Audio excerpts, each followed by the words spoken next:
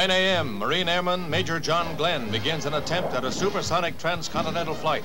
His Crusader jet camera plane leaves Los Alamitos, California, headed nonstop for New York with a sister plane. Three refuelings en route. His companion dropped out at the first. Each one slowed Glenn's jet from its better than a thousand mile an hour top speed. Shortly after noon, Floyd Bennett Field was reached. 2,460 miles traversed, elapsed time 3 hours and 23 minutes, 8.4 seconds. Glenn's wife and children watched proudly as he taxied in, holder of a new record that shaves more than 21 minutes off the best previous time.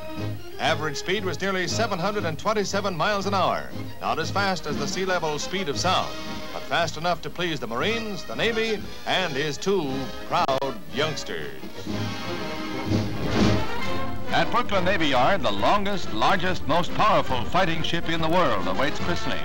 She's the fourth and largest Forrestal class carrier, and the fifth ship to bear the name Independence. The first was a 10-gun sloop commissioned in 1776. The latest will carry 100 supersonic jets with H-bomb capability. The most powerful radar aboard any carrier helps make her a potent counterweapon to Russia's submarine fleet. Christened with a proud name by Mrs. Thomas Gates, wife of the Secretary of the Navy, is USS Independence, over 1,000 feet of matchless fighting machine.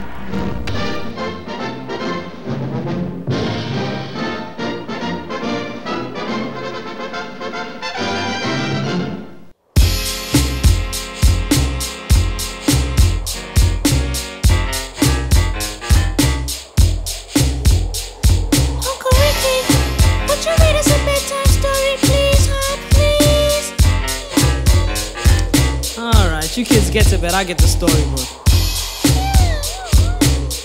What we're going to show you in the next half an hour, what we've been doing for the last year and a half. The tour's going to start right here on the ship. Once upon a time, not long ago, when people wore pajamas and lived life slow, where laws were stern and justice stood, and people were behaving like they ought to good, there lived a little boy who was misled by another little boy, and this is what he said. Me and you tonight, we're gonna make some cash, robbing old folks and making the dash. They did the job, money came with ease, but one couldn't stop. It's like he had a disease. He robbed another Stick and another, and a sister and a brother. Tried to rob a man who was a DT undercover. The cop grabbed his arm, he started acting erratic. He said, Keep still, boy, no need for static. Punched him in his belly and he gave him a slap. But little did he know the little boy was strapped. The kid pulled out a gun, he said, Why'd you hit me? The barrel was set straight for the cop's kidney. The cop got scared, the kitty starts to figure. I'll do years if I pull this trigger. So he cold dashed and ran around the block. Cop radios into another lady cop. He ran by a tree, there he saw the sister. Shot for the head, he shot back, but he missed her. Looked round good and from expectations, he decided he'd hit for the subway stations. But she was coming and he made a left. He was running top speed till he was out of breath. Knocked an old man down and swore he killed Sorry. him.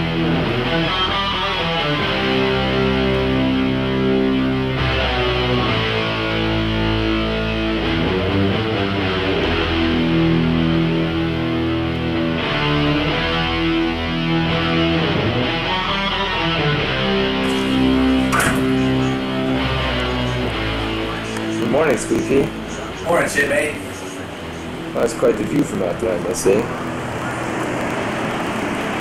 Our first step's a Lulu, too.